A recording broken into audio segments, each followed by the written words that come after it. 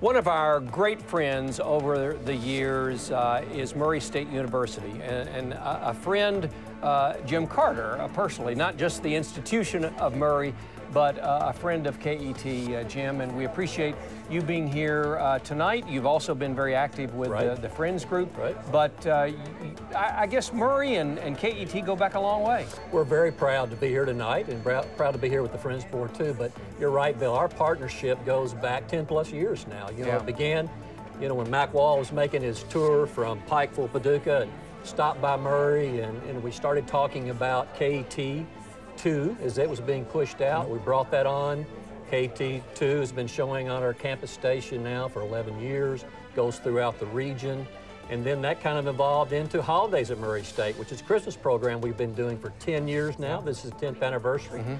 And you'll get to see that on KET2 on December the 24th at 7 o'clock Central, 8 o'clock Eastern. Good plug. How about that? Yeah. and then our weekly news magazine show, Roundabout uh, U, is on KET. We provided other programs. And now, you know, for the last year, we've been a part of this public media project and some of your programs, other KET programs now air on our w, on WKMS, our public radio station. Well, we appreciate that and appreciate all the support.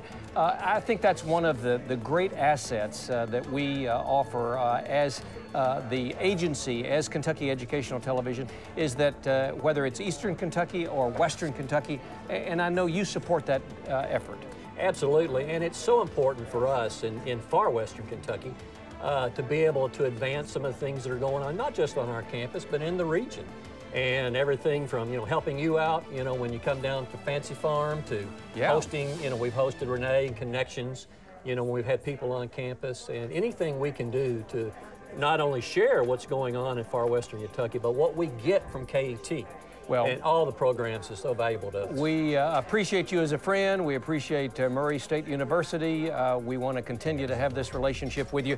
And if uh, Jim and if Murray is a supporter, you can be a supporter tonight too by calling 1 800 866 0366 or pledging online at ket.org.